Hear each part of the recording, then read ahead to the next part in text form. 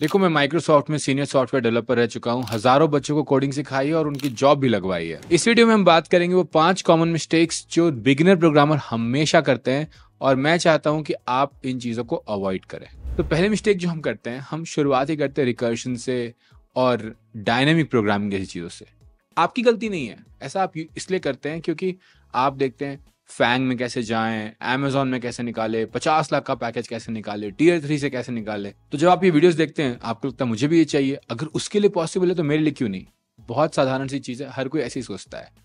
और जब इस वीडियो में बात होती है तो वो बात करते हैं कि मुझे ये आता था, मैंने ये किया, ऐसे क्वेश्चन पूछे गए। आप क्या सोचते हो? कि बस यहीं से शुरू किया जाए। अब जरा एक बार सोचते हैं। एक छोटा बच्चा है, अभी बेचारा एक साल का है, वो भी खड़ा होना भी नहीं जानता। उसको आप बोलो कि ऐसा करो, मैराथन दौड़ जाओ। दौड़ेगा। सोच के देखो। नहीं दौड़ पाएगा ना। बच्चे से एक्सपेक्टेशन करना कि वो अभी खड़ा हुआ है, चलना सीखा है उसमें दौड़ना ही शुरू कर दे और मैराथन ही दौड़ जाए, ये तो पॉसिबल है नहीं। जो वीडियोस आप देखते हो, जो क्वेश्चंस आप सॉल्व करना चाहते हो, उसके लिए आप प्रिपेयर्ड हो नहीं। और आप उनके लिए जो भी कोर्स निकालते हो डीएसए का, वो ये अज्यूम करता है कि आपको बेसिक्स ऑफ़ प्रोग्रामिंग अच्छे से आती है। पर आपने बेसिक्स ऑफ़ प्रोग्रामिंग में समय लगाया नहीं।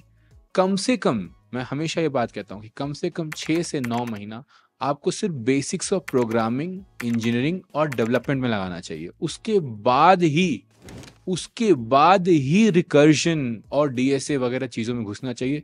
छह महीने तक तो आपको एक ऐसा प्रोग्राम लिखना की ज़रूरत ही नहीं पड़नी चाहिए जिसमें रिकर्शन का यूज़ हो। तब आप प्रोग्रामिंग सीखोगे।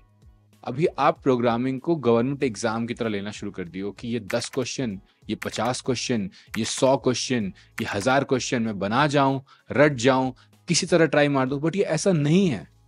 It's not a knowledge based thing it's a practice based thing practice करना पड़ता है और वहाँ पहुँचना पड़ता है आपको। दौड़ने चलने वाली बात है ये।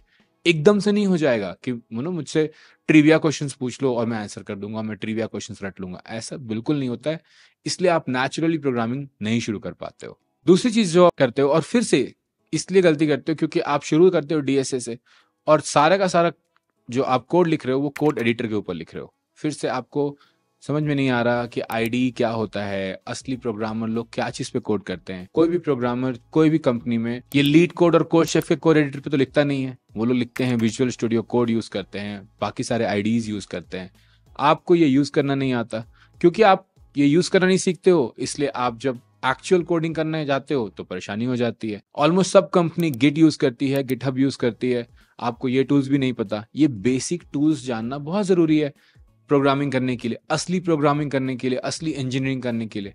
ये आप नहीं यूज़ करते हो तो आपको समझ में नहीं आता है कि सॉफ्टवेयर डेवलपमेंट कैसे किया जाए। किट गिटअप सीखोगे तो ओपन सोर्स में कंट्रीब्यूट कर सकते हो, किसी कंपनी में काम कर सकते हो इंटर्नशिप्स कर सकते हो, क्योंकि टीम्स तो गिटअप पर ही काम करती है टीम्स तो गिट यूज़ करती हैं। अगर आपको वो बेसिक डेवलपमेंट टूल्स भी नहीं आते हैं तो आप भले कोई दस बारह क्वेश्चन रट करके कहीं से एक इंटरव्यू निकाल लोगे, फिर उनको समझ में आ जाएगा कि यार ये तो रट कर आया था इन्हें इन्हें तो कुछ आता नहीं है, फिर आपको निकाल देंगे। और वो जो पॉसिबिलिटी आप सोच रहे हो एमेजॉन और माइक्रोसॉफ्ट और गूगल के इंटरव्यू निकालने वाला एज अ फ्रेशर उसकी प्रोबेबिलिटी इतनी लो है कि वो हज़ार में एक बच्चे का भी नहीं होता है। तो आप ऐसा गेम क्यों खेल रहे हो? फिर से एक बार, गलती इसमें आपकी नहीं है। आप जो रोड मैप फॉलो कर रहे हो ना डीएसए वाला, वही आपको प्रोग्रामर ढंग से बनने नहीं दे रहा है।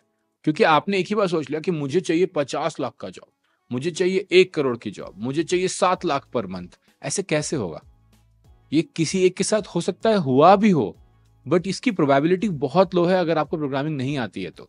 लेकिन अगर आप प्रोग्रामिंग सीख लोगे तो आज नहीं तो कल कल नहीं तो परसों, तीन से पाँच साल में आप उन पैकेजेस के लायक हो जाओगे। सही रास्ता ज़रूरी है ना इसके लिए। एक सेकेंड रुको। कमेंट में बता दो मुझे कि तुम कौन सा प्रोग्रामिंग लैंग्वेज सीख रहे हो। ये बताए बिना ये वीडियो खत्म मत करना। तीसरी गलती जो हम करते हैं, और बहुत वैलिड है ये गलती करना मल्टीपल लैंग्वेजेस मल्टीपल फ्रेमवर्क सीखने लगते हैं। क्यों? क्योंकि हमारा दिमाग ना प्रोग्रामिंग को एक बेट की तरह सोचता है। सोचता है कि अगर हम ये सीख जाएँगे तो हमारा दस परसेंट चांस बढ़ता है। और अगर हम ये भी सीख जाते हैं तो हमारा बीस परसेंट चांस बढ़ता है। आप ना उस चीज़ को चांस सोच रहे हो अभी, अपने दिमाग में। तो आप सोचते हो कि अगर मैं ये भी लैंग्वेज सीख जाऊँ, और ये भी लैंग्वेज सीख जाऊँ, और ये भी फ्रेमवर्क सीख जाऊँ, और ये भी फ्रेमवर्क सीख जाऊँ तो मेरा चांस कितना बढ़ जाएगा? बट इससे कोई फ़ायदा नहीं होता, क्योंकि प्रोग्रामिंग चांस का गेम तो है नहीं। प्रोग्रामिंग कोई सट्टेबाजी तो है नहीं, कोई जुआ तो है नहीं। प्रोग्रामिंग तो एक स्किल है, और एक स्किल क्या देता है? एक करियर देता है। और स्किल करियर कब दे पाता है? जब डेप्थ ऑफ़ स्किल होता है। डेप्थ में जाने के लिए क्या करना पड़ता है? चलिए एक छोटा सा एग्ज़ाम्पल लेते हैं। अगर आपको मैंने कहा कि ये ज़मीन है, इस ज़मीन में गड्ढा खोदो और डेप्थ बनाना है तो आप क्या करोगे? आप पाँच, दस जगह अलग अलग गड्ढे खोदोगे पाँच पाँच मीटर के कि एक जगह पचास मीटर का गड्ढा खोदोगे? पचास मीटर का गड्ढा खोदोगे ना तो डेप्थ ऑफ़ स्किल क्या हुआ? एक चीज़ को पकड़कर उसमें डेप्थ में जाना। तो पहले आपको वो करना चाहिए। एक प्रोग्रामिंग लैंग्वेज उठाना चाहिए, उसमें काफ़ी सारे छोटे छोटे प्रोग्राम्स लिखने चाहिए। फिर काफ़ी छोटे छोटे ऐप्स बनाने चाहिए। फिर काफ़ी बड़े बड़े ऐप्स बनाने चाहिए। फिर आपको थोड़ा उस प्रोग्रामिंग लैंग्वेज में डीएसए सीखना चाहिए। फिर उस प्रोग्रामिंग लैंग्वेज में आपको जॉब ढूंढनी चाहिए। टाइम लगता है। पचास मीटर के गड्ढे खोदने में टाइम लगता है। मेहनत ज़्यादा पड़ने लगती है ना। पाँच मीटर का गड्ढा दस खोदना आसान है। पचास मीटर खोदना मुश्किल है। तो आप क्या करते हो? बोलते यार, छोड़ो। इतना तो मुझे आ ही गया है कि मैं बेसिक सीख गया हूँ तो मैं बेसिक उसका भी सीख जाता हूँ, उसका भी सीख जाता हूँ, और मेरे चांसेस बढ़ जाएँगे। चांस की तरह मत लो प्रोग्रामिंग को। डेप्थ की तरह लो स्किल की तरह लो, तभी उसमें करियर बनेगा। चौथी गलती जो हम करते हैं, और फिर से क्यों करते हैं इस गलती को? हमें जब कोई एरर आता है, हम सोचते हैं कि, अरे, जल्दी से किसी से पूछ लेते हैं। स्टैक ओवरफ्लो पे चले जाते हैं। सीनियर से पूछ लेते हैं, भैया, ये प्रॉब्लम आ रहा है। अंकल ये प्रॉब्लम आ रहा है। Excuse me I have an error can you help me with this यही करते हैं हम लोग सब। क्यों करते हैं? इसलिए करते हैं हम, क्योंकि हमें लगता है कि प्रोग्रामिंग तो एक रेस है।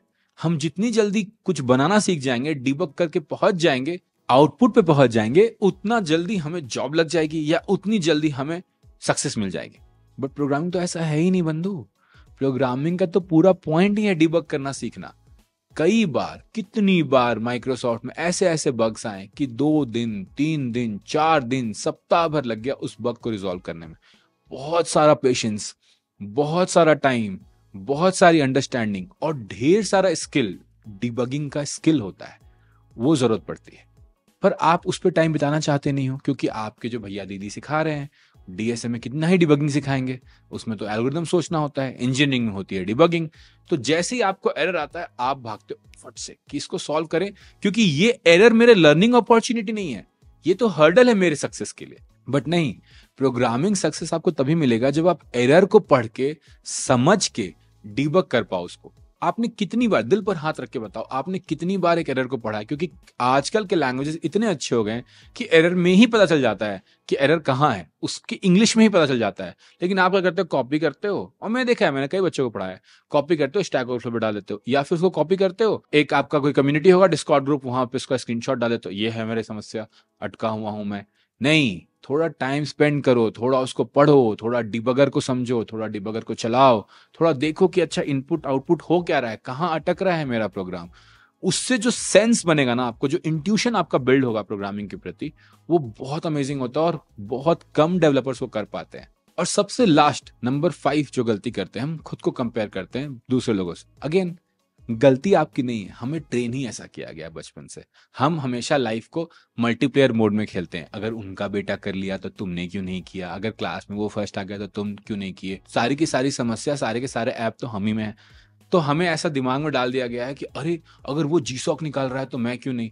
अरे भाई, उसकी जर्नी अलग है। उसने पहले शुरू की प्रोग्रामिंग तुमसे, तुमने बाद में शुरू की। जरा सोचो, एक अंडा है, वो फूटता है। उसमें से एक चूजा निकलता है। चूजा बाहर निकलता है तो बहुत अच्छी दुनिया अरे, वो तो उड़ रहा है। मैं तो नहीं उड़ पा रहा। कैसी है मेरी ज़िंदगी? मैं कब उड़ना शुरू करूँ? अरे, टाइम लगेगा भाई। न्यूट्रिशन आएगा, पंख बढ़ेंगे, थोड़ा कॉन्फिडेंस बिल्ड होगा। उड़ोगे, थोड़ा थोड़ा थोड़ा थोड़ा उड़ोगे। थोड़ा सा यहाँ से यहाँ उड़ोगे, फिर यहाँ से यहाँ उड़ोगे, फिर एक दिन बड़ी फ़्लाइट भी लोगे। टाइम लगता है ना किसी भी चीज़ में?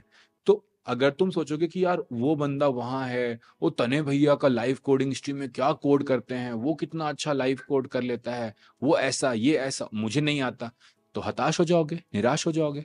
पर ये भी तो देखो कि उसकी जर्नी कहाँ से शुरू हुई। मानते हैं कोई एक दो आदमी जीनियस होगा बट हर कोई जो प्रोग्रामिंग कर रहा है, जिसकी प्रोग्रामिंग तुम्हें अच्छी लगती है, लगता है कि कहीं पहुँचा है, कई साल लगे हैं भाई उसको वहाँ पहुँचने में। और तुम्हें भी देने चाहिए। ये हड़बड़ी किस चीज़ की है? आराम आराम से करो, बढ़िया स्ट्रॉन्ग अच्छे वाले पंख डेवलप करो तो ज़िंदगी में डर नहीं रहेगा। कभी भी कोई भी प्रोग्रामिंग जॉब पकड़ लोगे, कहीं भी निकल लोगे, और करियर एकदम मस्त बनेगा। तुम्हें क्या डर लगता है यार कि जॉब्स खत्म हो रहे हैं? हाँ? क्यों उसका लग गया, उसका लग गया, मेरा नहीं लगा। अरे भाई जॉब्स बढ़ रहे हैं। प्रोग्रामिंग ही एक ऐसा फ़ील्ड है जिसके जॉब्स बहुत ज़्यादा बढ़ रहे हैं। तो तुम्हें क्या दिक्कत है? तुम जब सीख जाओगे, तुम्हारे दस जॉब खड़े रहेंगे। इनफैक्ट असली डेवलपमेंट स्किल्स के जॉब्स तो इतने ज़्यादा हैं, उतने लोग ही नहीं है। इसलिए तो कम कम आने वाले लोगों को भी बहुत पैसे मिल जा रहे हैं ना इस फ़ील्ड में। तो टेंशन मत लो, डिमांड बहुत है, सप्लाई बनाओ। हड़बड़ी किसी चीज़ की है नहीं यहाँ पे। बट दूसरे की जर्नी से, खुद की जर्नी को कंपेयर करना बंद कर दो, ये बहुत बड़ी गलती है जो प्रोग्रामर्स करते हैं। अर्ज़ किया है कि लेना नहीं है अननेसेसरी लोड। आराम से सीखो कैसे करते हैं कोड।